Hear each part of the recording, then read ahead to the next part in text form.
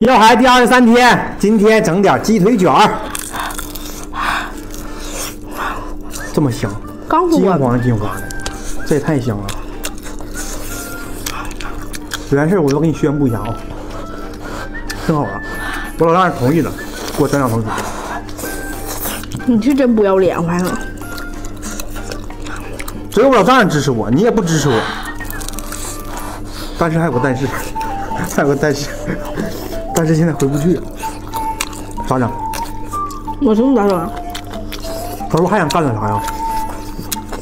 你一天你就研究些干点啥干点啥，你你能干啥呀？你还想干啥？我还有一个，还有一个办法，我还知道我干啥？卖榴莲。我跟你说，你别提这个事儿，你要提我给我整生气喽，我今天晚上都不让你回家住。不是卖榴莲怎么了？我寻思卖榴莲我就生气，知道吗？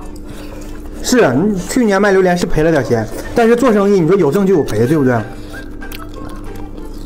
你全是赔的，哪有挣的？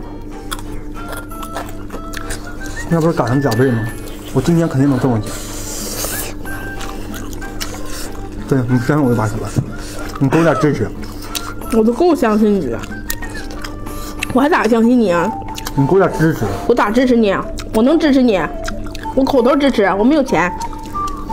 那你得给我整点流动资金吧？那你说我也不能卖榴莲，我先让人家买，先先收人钱，完了之后你我再给人拿样子吧，对不对？卖十吧，媳妇儿不能卖，媳妇儿肯定不能卖，二斤卖能卖个好价。关键也不值钱吧？是不是？咱还是卖榴莲吧。那我卖榴莲吧我，没榴莲值钱呢。你比榴莲值钱多了，但我就需要那么一点点自己，我就需要那么一点点。你别吃了，别吃了。